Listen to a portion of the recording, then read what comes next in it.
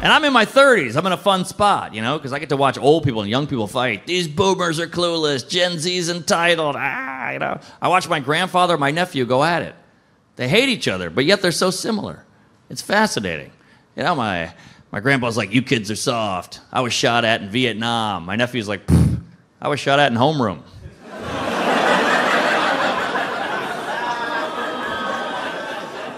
He's like, whatever, you kids are pussies. You can't even eat a peanut. He's like, screw you, Grandpa. I eat ass.